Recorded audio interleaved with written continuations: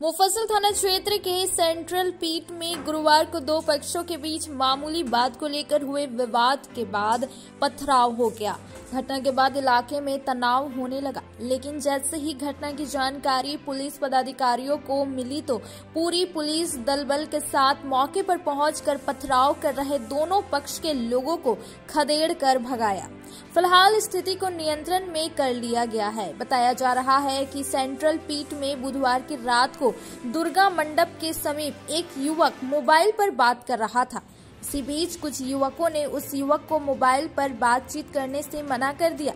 इसी बात को लेकर फिर से स्कॉर्पियो पर सवार होकर कुछ युवक मौके पर पहुँचे और फ़ोन पर बात करने से मना करने वाले युवक को उठाकर ले गए।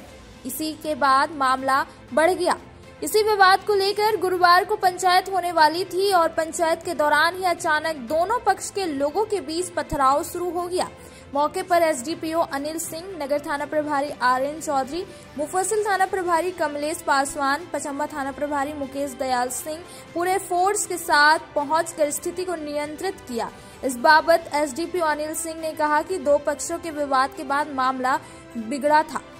जिसे संभाल लिया गया है और इलाके में पुलिस बल की तैनाती कर दी गई है। देखिए, ये मुफसिल थाना क्षेत्र का सेंट्रल पिट एरिया है जो पंचायत भवन के पास है, यहाँ कल रात्रि में एक सिकवा मियाँ है, उसका बेटा का ताज था। यहाँ मंदिर, दुर्गा मंडप के पास कहीं बाहर में कहीं बात कर रहा था, उसी समय धनुपुरी आया और दोनों में किसी बात को लेकर बहस हुई और बात ख़त्म हो गई थी, लेकिन आज सुबह में सिकवा मियाँ के बेटा ताज और कलाम अपने कुछ साथियों के साथ गुड़िया खाद से लेकर के आए थे और यहाँ धनी पीढ़ी को पकड़कर झगड़ा कर रहे थे। इसी दौरान दोनों तरफ़ से लोग जुट गए थे दूसरे पर ईट का टुकड़ा जो यहाँ रोड बन रहा है और फेंक, फेंके थे तो पुलिस को सूचना मिल गई मिल गई थी।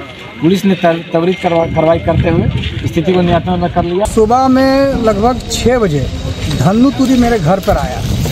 और आ करके बोला कि रात में कुछ महावडन लड़का लोग दुर्गा मंडप के समीप जो है से आ करके फ़ोन से बात कर रहा था। और बात करने के क्रम में हमने उससे पूछा कि इतना रात को तुम क्या कर रहा है?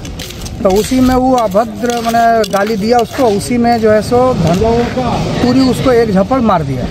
और मार देने के माहौल यहाँ थोड़ा सा गर्म है तो हम उसी में बोले हम लोग कि सो इस माहौल गर्म में पंचायती नहीं हो पाएगा, अभी तुम लोग सब अपना अपना घर जा और हम लोग समय निश्चित करके दोनों का फैसला हम लोग कर देंगे कि, कि क्या मामला है।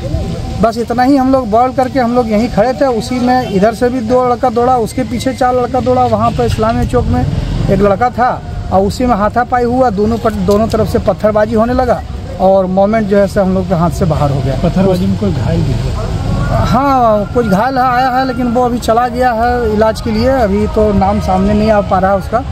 और कितने लोग घायल हैं? एक आग होगा। पत्थरबाजी जैसे हुआ हम लोग सब अलर्ट कर दिए सभी जनप्रतिनिधि भी यहाँ थे। हम लोग तुरंत लेकर के मंटी यादव था विजय यादव भी थे उधर से भी ताजुद्दीन सब था। सब मिल करके मोमेंट को हम लोग संभाले दोनों साइड से अलग अलग करने का प्रयास किए। परंतु पत्थर इसमें चल रहा था हम लोग को भी लग रहा था। इसलिए हम लोग तुरंत प्रशासन को फ़ोन किए प्रशासन ने आकर के मामला को यहाँ पर संभाला। तो इसमें किसी को चिन्हित किया गया? कौन कौन था जो? देखिए चिन्हित तो किया जा रहा है जो दोषी है वो जाएगा जो